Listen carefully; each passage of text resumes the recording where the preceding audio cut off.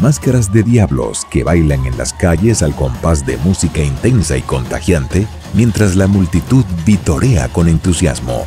Es la imagen icónica del Carnaval Dominicano, una celebración arraigada profundamente en la cultura de esta vibrante nación caribeña.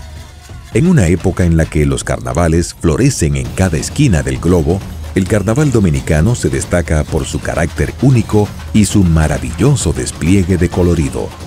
Aquí, cada paso de baile y cada nota musical cuentan la historia de un pueblo que celebra con orgullo y pasión su rica y diversa herencia cultural. Usted está viendo esto gracias a Fundación Corripio, Indubeca, Banco BHD, Pinturas Tropical,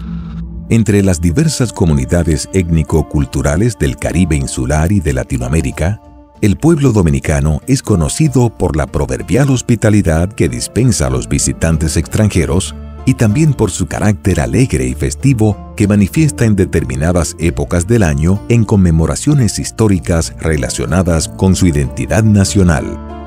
Una de las más auténticas festividades de la cultura popular dominicana es sin duda alguna la celebración del carnaval, que por lo general tiene lugar cada año antes de Semana Santa. Se trata de una festividad ancestral consistente en una fiesta de mascaradas, comparsas, bailes y otras expresiones culturales que desde mediados del siglo XIX se celebra en Santo Domingo asociado a efemérides patrias como la independencia nacional y la restauración de la República.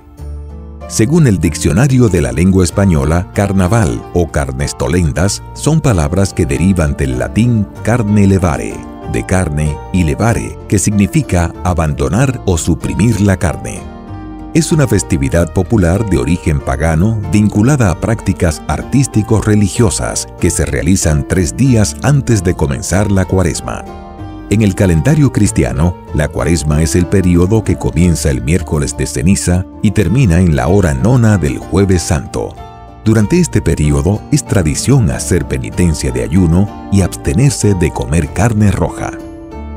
Los antiguos romanos solían celebrar fiestas especiales o carnavales que llamaban Saturnales en honor a Saturno, el dios de la agricultura. Mientras celebraban esos Saturnales, se recreaban situaciones en las que no había diferencias de clase, y amos y esclavos participaban en el carnaval en aparente igualdad social. Se dice incluso que en medio del ambiente festivo que reinaba y de espontánea manifestación del espíritu, se intercambiaban los roles. El esclavo simulaba ser amo y éste a su vez fingía ser esclavo. Aunque fue el imperio romano el que difundió costumbres y manifestaciones de carnaval a lo largo de Europa, a principios del siglo XVI correspondió a los descubridores y conquistadores españoles introducir en el llamado Nuevo Mundo las tradiciones y prácticas de carnestolendas, tales como fuegos artificiales, la quema del Judas, carrera de caballos, torneos o juegos, así como recreaciones de enfrentamientos de dos bandos de moros y cristianos, entre otros.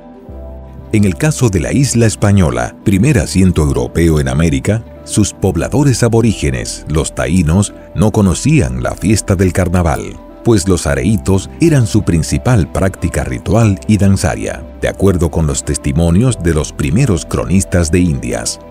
Pero fue a partir de 1520 cuando en la Vega Vieja se llevó a cabo una fiesta que algunos historiadores han considerado como el primer carnaval de América.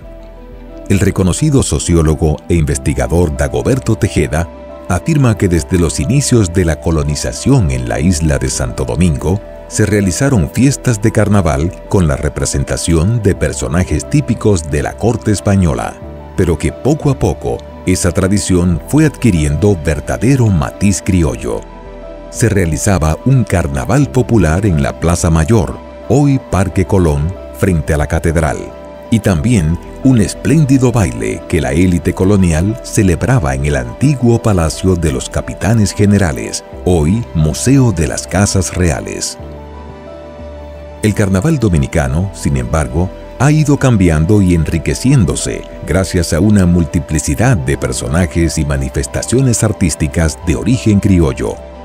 Por ejemplo, a lo largo de los siglos XVII y XVIII, la costumbre del carnaval experimentó muy poco desarrollo, debido a las limitaciones materiales y espirituales del colectivo, pero la tradición carnavalesca no desapareció del todo.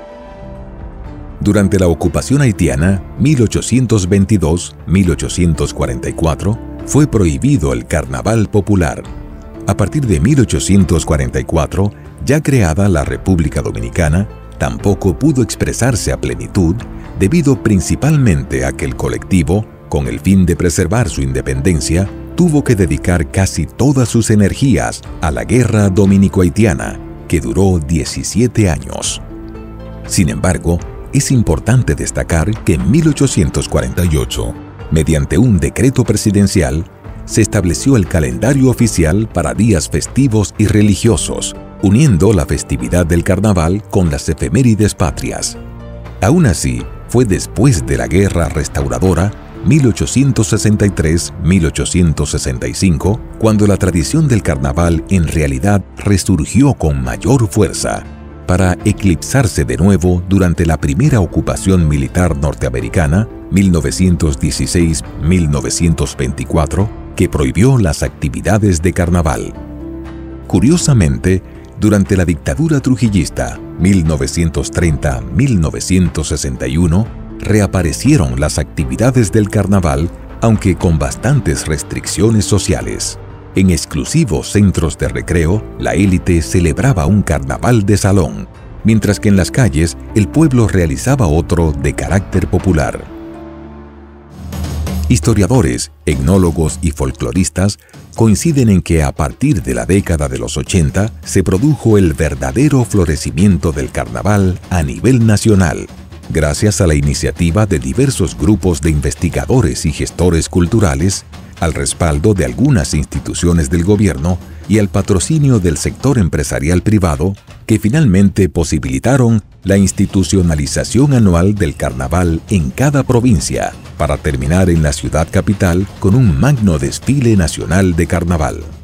De la misma manera que en otros países existen carnavales populares de renombre mundial, como el Carnaval de Río en Río de Janeiro, Brasil, el de Mardi Gras en Nueva Orleans, Estados Unidos, el de Santa Cruz de Tenerife en las Canarias, España, el de Venecia, Italia, entre otros, República Dominicana también tiene su carnaval, que cada vez más adquiere mayor relieve nacional e internacional. En la actualidad, el carnaval dominicano se lleva a cabo en todos los pueblos del país y constituye una de las manifestaciones más impactantes y originales de la cultura criolla. Por medio de sus diferentes personajes, el pueblo expresa su auténtica esencia cultural representando simbólicamente las tres etnias que constituyen la sustancia del ser nacional, la indígena, la hispana y la africana las cuales, andando el tiempo y tras incorporar otros elementos culturales extranjeros, han contribuido a enriquecer y definir la identidad nacional. En cada provincia de la República Dominicana, el carnaval tiene características regionales propias, el admirable y maravilloso colorido de sus disfraces, así como la variedad de personajes que son recreados y representados, lo han convertido en un orgullo regional y un patrimonio de la identidad nacional. Entre los más populares figuran el Carnaval de Santiago, con sus lechones de los Pepines y de la Joya, el de La Vega, que se cree data de 1510, y el de Santo Domingo, del que se tienen noticias desde 1520. Cada año, en el Carnaval Dominicano, conviven e interactúan tradicionales personajes como los Diablos Cojuelos, que popularmente llaman cajuelos, los Robalagallina, Califé, los Papeluces de Cotuí, los Pintaos de Barahona, las Cachúas de Cabral, con sus temibles fuetes, los Macaraos de Bonao, los Taimacaros de Puerto Plata, los Lechones de Santiago, los Judas de Navarrete, la Muerte en Jipe, se me muere Rebeca. Son personajes de fantasía, fruto de la fecunda creatividad e imaginería popular que hacen del carnaval dominicano una de las más auténticas expresiones culturales de la región del Caribe. Un viaje a la historia llega a ustedes gracias a Fundación Corripio Indubeca, Banco BHD, Pinturas Tropical,